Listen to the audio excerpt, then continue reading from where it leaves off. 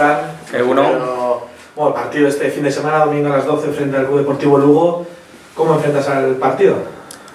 Eh, bueno, pues sí, eh, un partido complicado, ¿no? Como son todos, ante uno de los favoritos, pero sí que es verdad que estamos hablando de una secuencia de partidos en la que estamos encontrando, bueno, equipos hechos con la obligación de, de intentar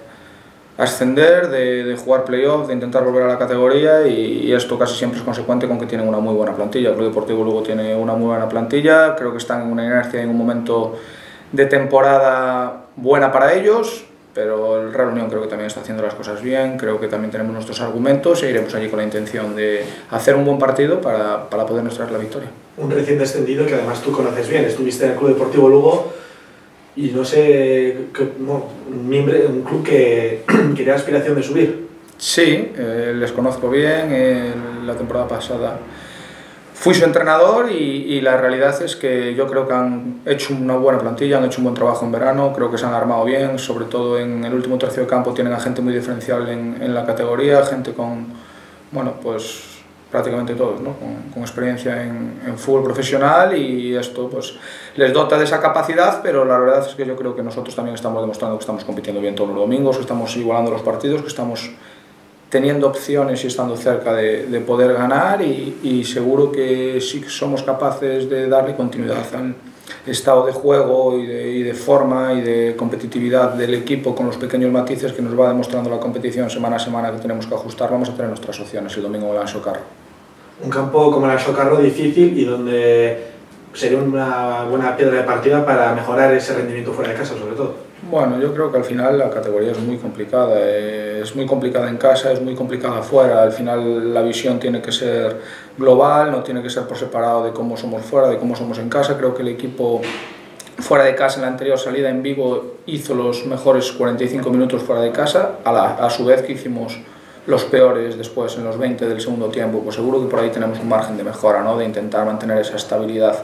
durante todo el partido y yo creo que la semana pasada con la Ponferradina ya fuimos capaces de en vez de hacer 45 hacer 75 y a ver si seguimos, si seguimos en esta progresión teniendo en cuenta que hay un rival delante que también se prepara, que también tiene argumentos, que también te, te pone las cosas complicadas y que en esos momentos en los que no consigues digamos llevar el partido donde tú quieres creo que tienes que tener esa capacidad de resistir, de competir, de agarrarte al partido, que por ejemplo pues el domingo pasado vimos y demostró aquí un recién descendido también con la obligación de, de pelear por ascender como, como es la Ponferradina. Fran, ¿puntos fuertes del, del rival? Bueno, pues creo que es un equipo que no necesita estarte sometiendo en el juego para, para realmente el poder estar cerca de, de, poderte dañar. Al final tiene mucho, mucho talento, eh, son un equipo que ataca muy bien los espacios, son un equipo que en casa tiene mucha energía, que es muy proactivo, que defiende hacia adelante, que tienen muchas ganas de, de que hagas posiciones cortas, de recuperarte rápido la pelota, de, transmitirle seguro que también a, esa afición que, que, tienen en el, en el Anso Carro. Entonces creo que, que, vamos a tener que entender todo esto para, para hacer bien las cosas, adaptando nuestro modelo al, al, rival que tenemos enfrente, minimizando errores, minimizando el, el darles posibilidades, un partido equilibrado, un partido de orden porque es que como no estés ajustado, como no estés ordenado, como te equivoques en el, en el campo propio, el, el, Club Deportivo Lugo te, te penaliza mucho. ¿Qué les pides a tus jugadores? Bueno, pues que sigamos ese, ese proceso de crecimiento, ¿no? Al final el, el equipo cada semana que, que pasa creo que está más armado y está con más argumentos para competir con cualquier rival, y al final tenemos que, que seguir en esto. El, el, domingo tenemos una oportunidad maravillosa, ¿no? Vamos a un estadio de fútbol profesional contra un equipo el que más años llevaba en, fútbol profesional hasta este momento, llevaba en segunda división, llevaba 11 temporadas de manera consecutiva y yo creo que al final es una oportunidad para todos para demostrar que queremos seguir dando pasos, queremos seguir creciendo, queremos seguir